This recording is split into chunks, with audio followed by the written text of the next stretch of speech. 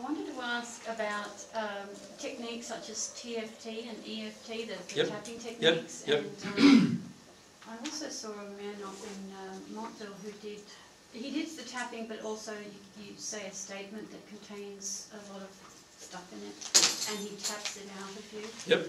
And, um, and metaphysical neurology, which is something that um, someone I think you met, the Yep. person who teaches yoga Jill. Yep. Do those, um, I'm just wondering whether those actually,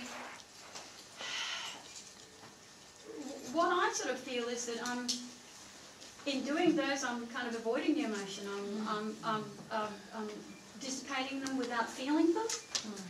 And is this helpful? It really gets down to that inside, what's happening inside of you. What's your intent? You can use any, remember I just said this, you can use any technique you want as long as you intend to connect mm. to your deep emotional causal reasons as to why you feel the way you feel. You can use exactly the same techniques in many cases to detune from the emotion as well. So it just depends on what your intent is. So what is your intent? Is your mm-hmm. intent to connect and feel, or is your real intent to want an easier way? I want an easier way than what AJ is suggesting me, which is, and all I'm suggesting to you is, you're going to need to experience the emotion you froze in time at the time you didn't experience it. That's all I'm suggesting to you, right? You're going to need to experience that emotion now. So if it was one year old, you're going to feel one year old and you're going to feel that emotion that you tried to shut down, or in most cases, your parents or your environment shut down in you at that age. Right? So, what is your intent? Mm. Is your intent to have an easy way, tapping yourself out of the emotion, or is your intent to tap yourself into that emotion? Mm. What's your intent? Now, most people's intent is to get themselves out of the way, yeah, mm. get themselves out of the emotion. Why do most people use meditation? For the same reason, right? Most people have to meditate every day. Do you think if you're at one with God, you'll meditate every day? Why would you need to? You're in a constant state of bliss. You're not, you're not going to be meditating every day, are you? You're just going to be enjoying whatever you want to do, whenever you want to do it, however you want to do it, all the time. And you're not going to need to have an hour or two of meditation in the morning to get yourself started with it. Right? That's not how it's going to be when you're at one with God. Is there anyone at one with God? On earth? Hmm. No.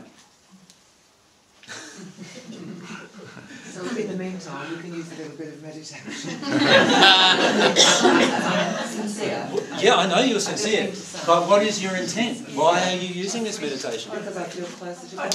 I feel closer to God. Do you? Absolutely. Without doubt, no exception, at all times, every time.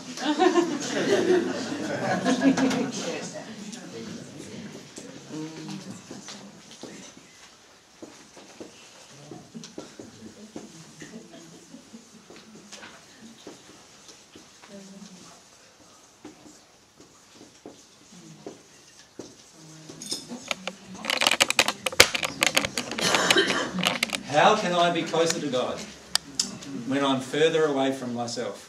Well, if we're talking about the head self, the mind, it's the intention of meditation That's not yourself. It's to get out of mind. Yeah, but, but what's yourself? What did I say your soul is? Your emotions, your passions, your desires, your longings. Right? Now, if you're using, and I'm, if you're using meditation, right, to get away from emotions, to make yourself feel calmer, then you are actually getting away from yourself. How can you be closer to God if you're less So further away from about yourself? feelings of trust though? You know, I asked you before the lecture, AJ, and you said learn to trust your feelings. And the feelings I have after meditation are the ones I can trust. And there is a, a loveliness and a lovingness. Okay.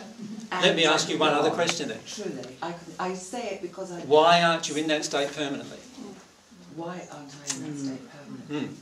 Uh, Why aren't you in the state of trusting permanently? I don't have an answer. I don't understand the question. Does everyone else understand what I'm asking? What do you feel?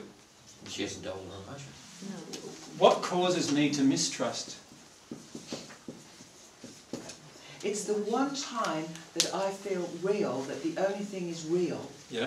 and myself. I know is that- after that. All of the reasons you're giving me are reasons why people have become, on the spiritual paths, have become so addicted to meditation.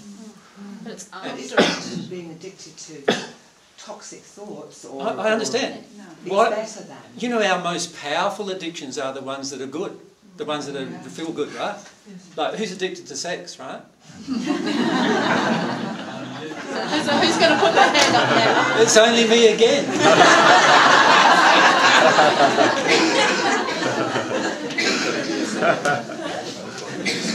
No, I was addicted to sex, but meditation sorted it.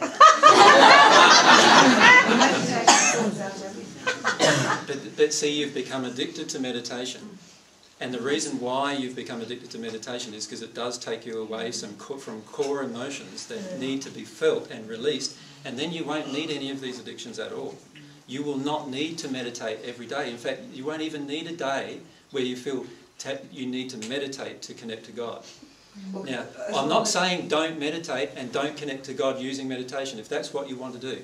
I'm not saying that. But what I am saying is what you are currently doing is avoiding some emotions of mistrust that you have of God. AJ, And you only feel trust with God when you meditate. And pray. I, I include the whole thing, Yeah. the whole caboose, not just, I understand. you know. And yeah. there are times when you have some deep mistrust issues with God, and those emotions, mm. if you deal with them, will actually cause you to be permanently connected with God, and you won't need meditation then. You won't need, in the end, any tool. Mm-hmm. In the end. Yeah. But we're not at the end yet. We're at the beginning. That's So- the problem. So We're at the the reason We're why we search for tools is because we want to avoid the emotions. The reason why I need a tool is because I want to avoid. I want to feel good.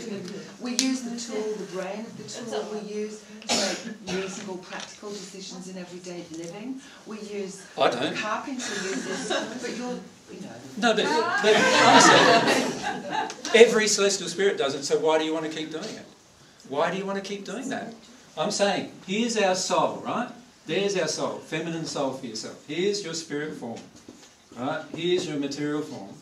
What bit do you want to develop? What's the real you? So I thought the soul is the real That's you. the real me. That's the bit you want to develop. And how do you want to develop it? Do you want to develop it natural love? Because natural love is fine if that's what you want.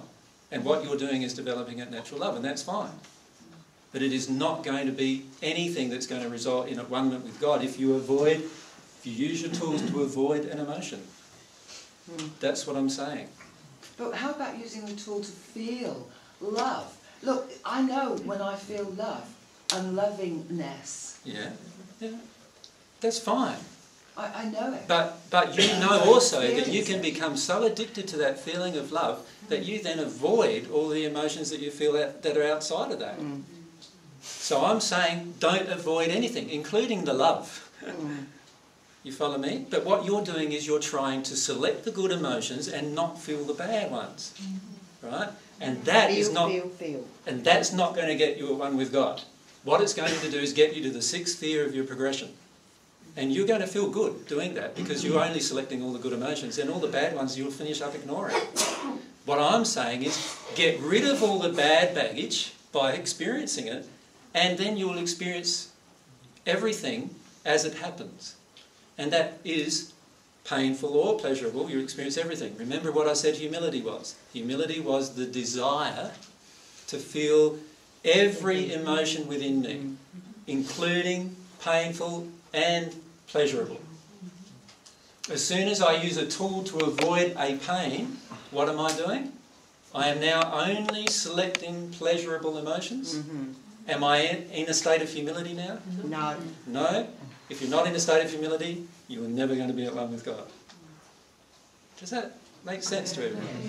It's Sounds like you need to go back to sex. It would so. It would seem so. I quite agree with you. I'm not saying to throw away these things that you've done. What I, and I've said this quite clearly, have I not? What I'm saying is, if you use a tool to avoid, if that is your intent, then you are not going to be at one with God doing that.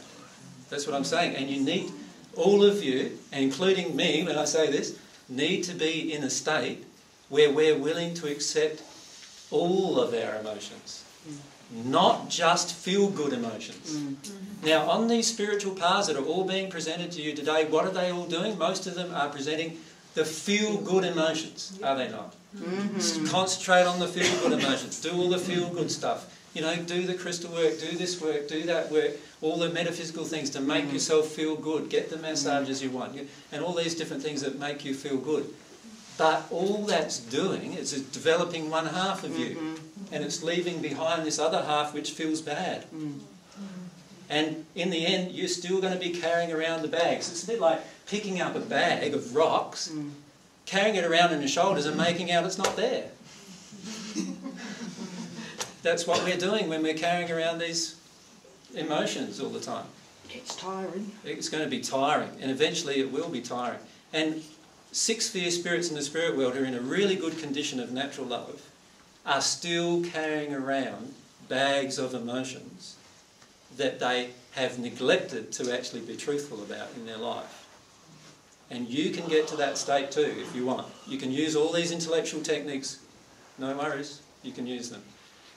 And every technique out there that's there that's not dealing with an emotion or that's making you feel good rather than just making you feel is going to detune you from your relationship with God.